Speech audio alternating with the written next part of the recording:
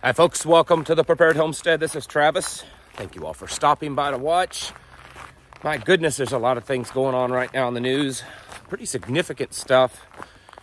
Although I normally don't make these walk and talks a news thing, there's just some significant things that I think need to be discussed.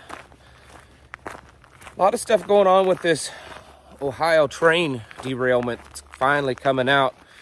Um, a lot more, shall we say, hard evidence that there are um, there's toxic chemicals in the air, in the soil, the water around that area.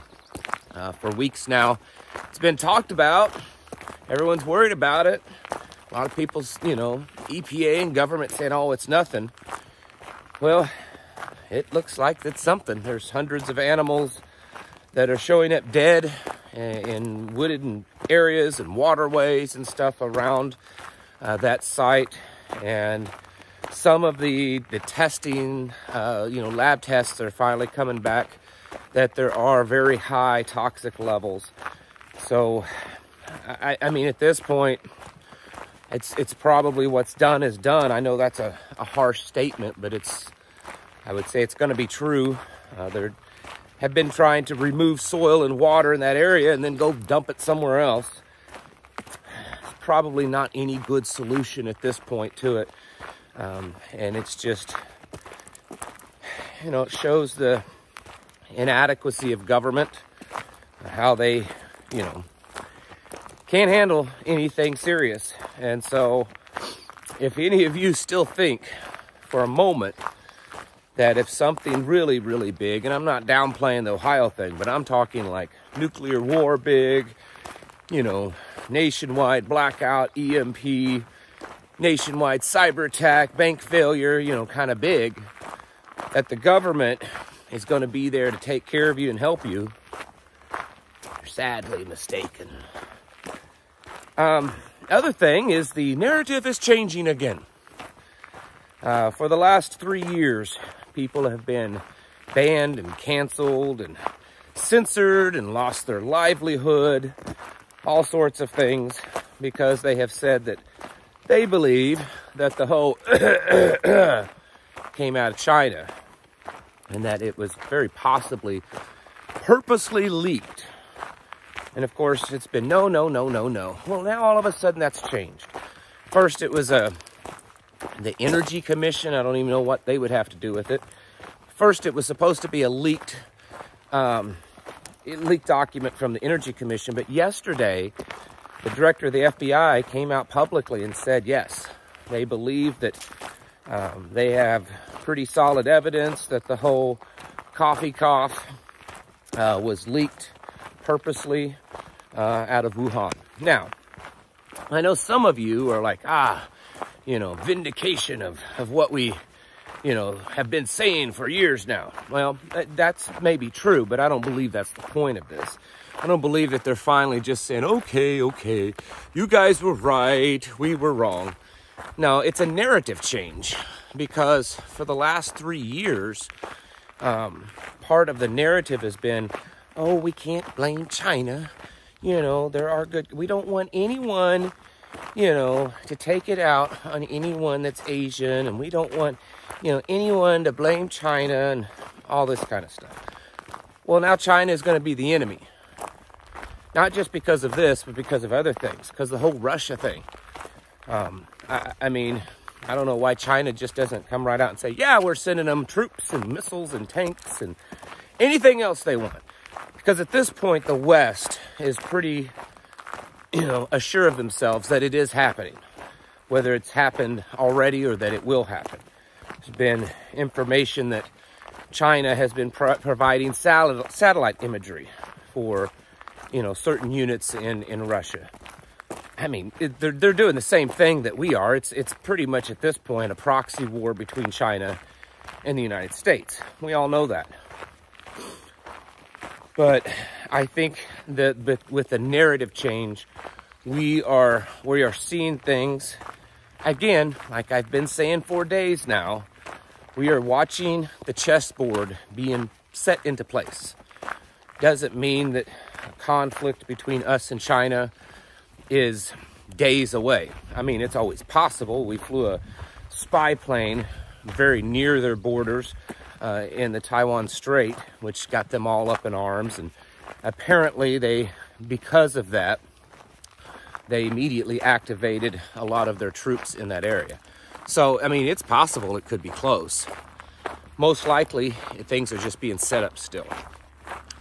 But I think in the long term, the likelihood of an engagement between uh, China and the United States is getting to be pretty good. So that's significant right there. Very, very significant. And it, you know, there's always people saying, yeah, but we could kick China's hind end. I'm not saying we can't. I'm not, I don't think personally a victory, military victory over China is as is guaranteed as many people think. But whether we win or not, it's going to be devastating. It's going to be a war unlike America and probably the world has ever seen.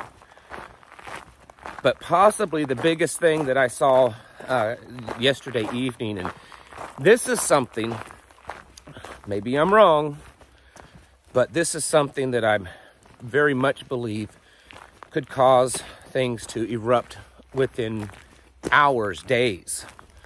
I mean, by the end of this week, it's possible.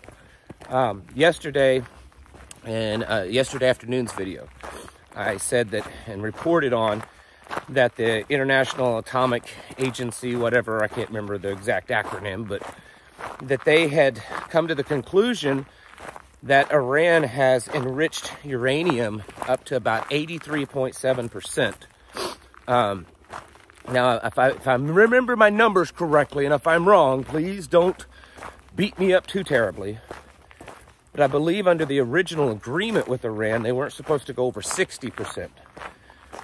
And it was something like 300 kilograms or something like that of, of material. And now they're well into the multiple thousands of kilograms and they've enriched it to 83.7%, just shy of what's needed for at least an atomic weapon.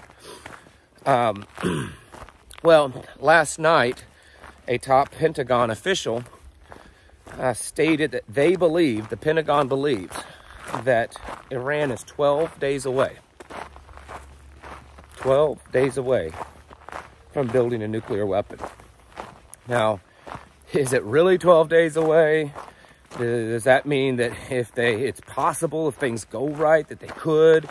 I mean, you know, it's the Pentagon. They, they get things right so often. I mean, it could be 12 months. But honestly, it doesn't matter because now there's an official statement from, you know, the, the mommy, the mommy state, you know, the mommy military, the one that takes care of everyone is what I mean, um, that Iran is 12 days away from building a nuke.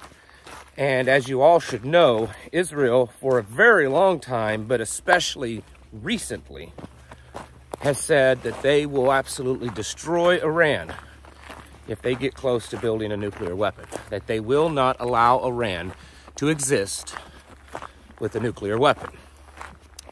And there's been a lot of indication that the United States would be involved in that. Um, I saw that also yesterday evening.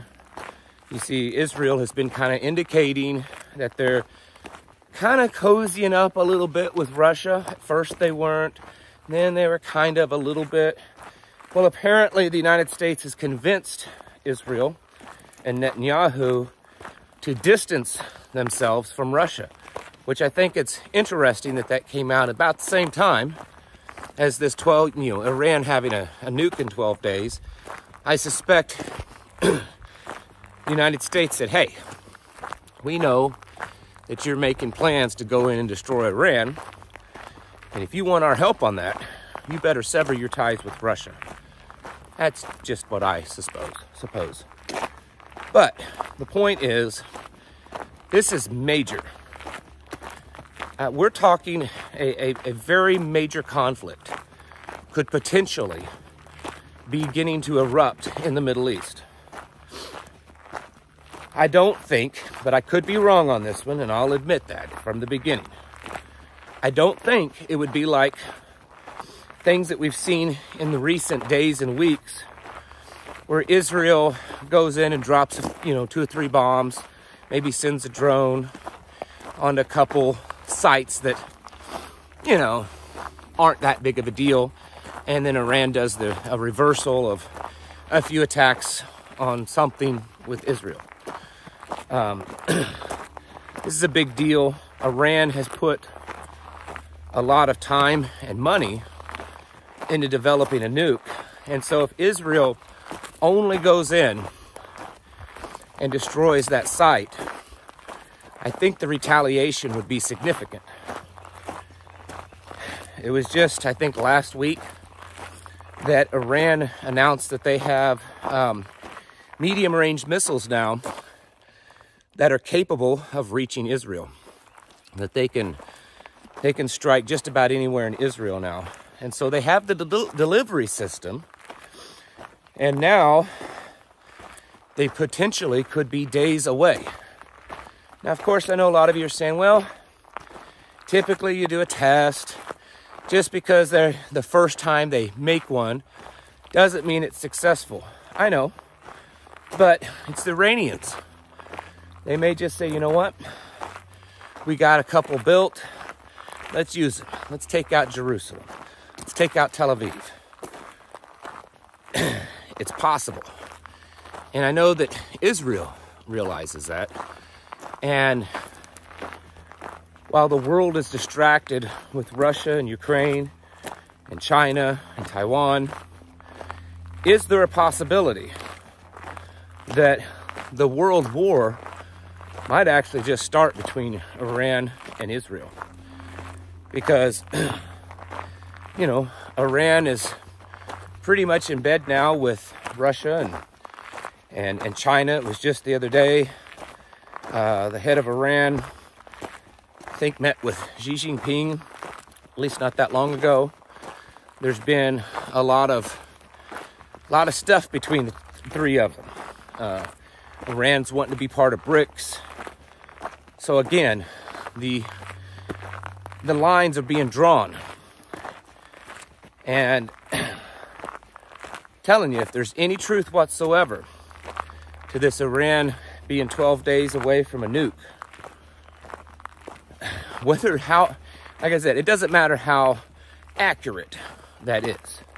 It's now become an official proclamation.